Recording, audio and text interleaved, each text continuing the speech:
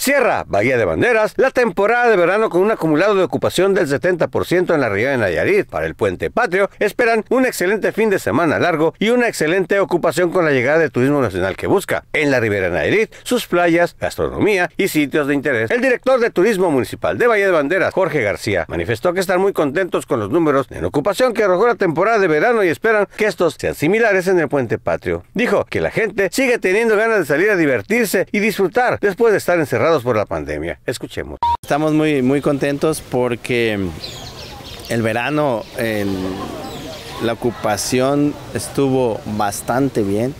Yo diría que muy bien.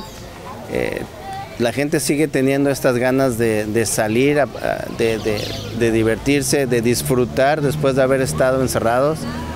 Soy un poco trillado, pero es real, la gente sigue trabajando y sigue visitándonos. Tan, tan así que llegamos a los números muy parecidos de prepandemia.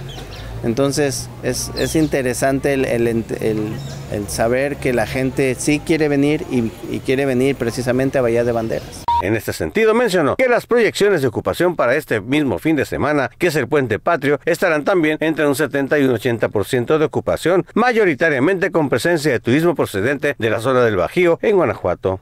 Nos está pasando lo mismo para este fin de semana. Este fin de semana que es puente, donde toda la gente del Bajío va a aprovechar para venirse y tenemos un, están proyectados 70-80% de, de ocupación de la gente del Bajío precisamente. ¿Qué recomendamos para este fin de semana? Recomendamos, es un fin de semana lluvioso, está pronosticado lluvia, están pronosticadas algunas tormentas en la zona del Pacífico.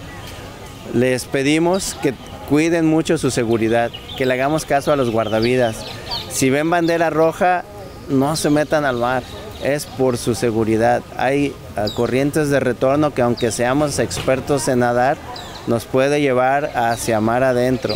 Entonces seamos muy respetuosos de, los, de las banderas que están ahí, de las, de las indicaciones de los guardavidas. De igual manera, se informó que los operativos de seguridad pública, reglamentos y protección civil continuarán hasta el próximo domingo para estar atentos ante cualquier situación que se pueda presentar en las playas, carreteras y zonas de interés del municipio de Bahía de Banderas, Nayarit.